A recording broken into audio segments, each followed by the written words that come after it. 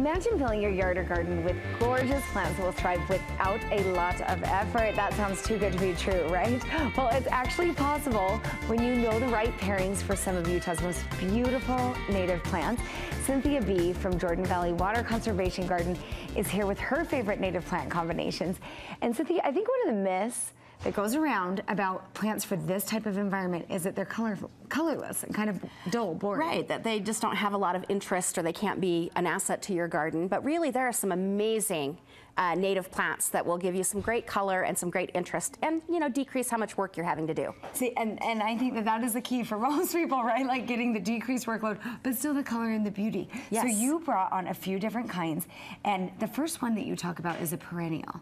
Yeah, we're going to talk a little bit about evergreen perennials. Most people don't even know those exist, that you can get perennials that are evergreen. I don't know So one I of my that. favorites is this little guy right here. This is called Kinnikinnick or bearberry. Nick and Nick. Now Yeah. that one is worth buying just so that you can Isn't tell the name? It's fun to say, Kinnikinnick, huh? Right? Yeah, and then, you know, it has little tiny flowers that are kind of minuscule, but really it's this evergreen foliage. And once you have that and it fills in, you don't even have to rake leaves. You know, it's just this nice evergreen that will fill a low area, and it's a super drought tolerant plant. And it is really pretty. I mean, it, it's got a little bit of that waxy look to it, the shiny Yep. green, which I love. And we're contrasting that a little nice. bit with this horehound, and then um, Also a which is perennial? yep, and that's uh, that's one that's deer resistant as well. And, um, and then of course there's others that we can add with that. But that gives you some of that perennial. I love that sulfur buckwheat too. I don't have an example of that one, but not only is it evergreen, but it actually gets a burgundy leaf in the winter that gives it even additional interest. So So neat. some And of our natives. horehound is another one. Yes, for. and that's an herb, and you can see this right here. We have one on display here, and it's just kind of interesting texture and foliage. And then an- another thing that gardeners are often challenged with is those awkward spaces. Yes, you know, s- doing a great landscape is is kind of a spend and save thing. There are areas where we want to spend money and make great spaces, and there's areas we just need to fill with something that will stretch the budget. Right. So my favorite for that is Desert Four O'clock. Um, I don't have one here because it's just it's a little late to emerge, but one eight, you know, one gallon perennial will fill a space that's five feet by five feet. Oh, you're kidding. That's huge. So and it's super drought tolerant and will bloom the entire summer. Does so, it start small and then kind of grow from Yep, there? but it comes from a Oh, tap root, so it doesn't picture of this. spread obnoxiously. It's just beautiful and fills in spaces so nicely. so contrast that, yeah, and then contrast it with some of the spikiness of the yucca. Um, you know, that makes it extra interesting, and that just kind of gives you some of that. You know, that long season, yet you're not going to have to do much in that area. In fact, the maintenance on that desert four o'clock at the end of the season, it detaches, you grab it and throw it away. Oh, and that comes yes. back from the That's root the next year. about. So that's super low maintenance and a great way to stretch the planting budget. Do the blooms stay? Yeah, the blooms will go from June until hard frost. Wow. So really long So season of bloom. And they And open and close during the day. So that's kind of fun too. You mentioned also the Palmer's. Palmer's penstemon is beautiful. It's a tall, spiky, uh, with big pink flowers. That's one of our native perennials. Uh, Utah's is the land of penstemon. There are more beautiful penstemons that grow here than anywhere else in the world. So uh, that's just enough one to give it a little extra contrast of shape and texture. That is fun. And mixing those together, you can see how, Yep. how pretty that would be.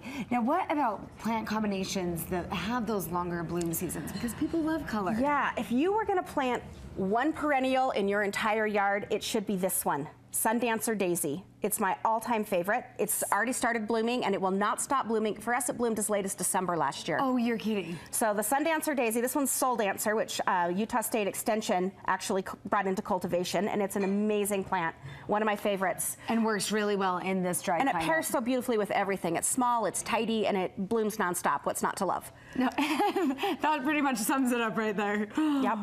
So, and then of course the fire chalice is great for a little later in the season to give you some of that bright orange and it's beautiful into the fall. And yeah, that's just a great little mix of plants that'll do great. And, and kind of keep their bloom long into the season. Right, just to help span between, you know, the times when other things aren't blooming. You also have a really fun kind of patriotic combination. My little red, white, blue, yes. So everybody who doesn't love blue flowers. I love blue flowers. In fact, blue we were at the is the other great. day. My child saw a carnation that was blue, and I said, "No, that is Yes. a natural. Not that kind of blue. The other kind of blue." Exactly. In fact, you'll see the blue flax blooming right now. Um, if you see, you know, beautiful banks of light blue, sky blue flowers, that's the blue flax. Uh, but it's also great paired with some penstemon and some sages. Now, I love the silver sage because it's got these great big white hairy leaves that look amazing even when there aren't flowers. And that is one of the big secrets is to always look for plants that have some cool foliage so that you're getting that contrast between those shapes, and that will make you know your plants more interesting even when they aren't in bloom. And kind of combining them. What about sunshade issues with most of these plants? So a lot of our natives like the sun. That first combination I showed, the evergreen perennials can take the part shade.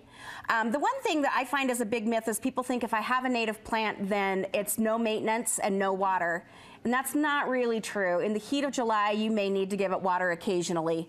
Uh, and you still want to watch the plant and, and you know take care of that. And they still have leaves and they still need to be cut back, you know. So be aware of those things, but they're just going to, they're hardy enough to withstand this kind of Right. climate. The biggest mistake I see with native plants is that people water them the same way they water the lawn.